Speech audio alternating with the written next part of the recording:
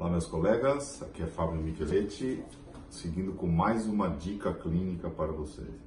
Hoje é um tratamento mais complexo, não tão comum, né, que é o canino impactado por inferior.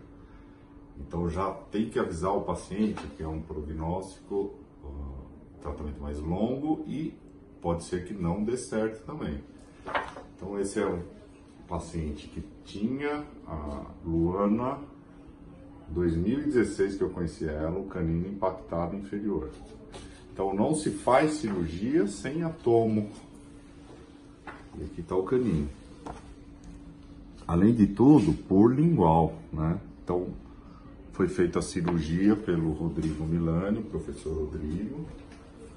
E a mecânica aí de dois anos e meio a três anos, com muita paciência, hoje aconteceu uma grata surpresa. Olha lá o canino. Repara a mecânica aqui. É, cirurgia para expor o canino, botão. Vamos lá, passo a passo. Cirurgia para expor o canino, muito cuidado com o nervo mentoriano.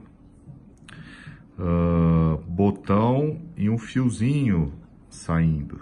Só que aqui eu tive que dar ainda torque no incisivo, uh, porque a raiz do incisivo começou a bater no canino. E a mecânica é isso aqui, ó. Bocal shelf. E o elastic uh, ativando todo o canino. Nós conseguimos trazê-lo com muita paciência, né? E eu vou fazer a ativação agora. Claro que ela vai sentir o canino aqui, porque é um movimento ortodôntico. Olha o que eu faço. Bucal shelf. Bucal shelf é o parafuso 2 por 12 de aço, né? Não se faz esse tipo de mecânica com titânio. O bucal shelf é feito de aço.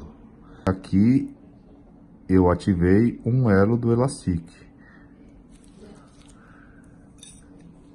Veja a mecânica.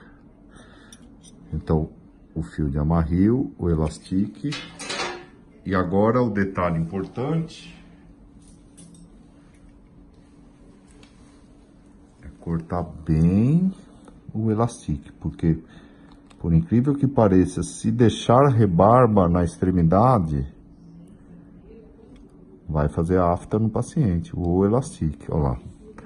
A extremidade é muito importante. Então essa é a dica de hoje, ao vivo e a cores e a paciente muito boa, cooperadora aqui, ok? Obrigado.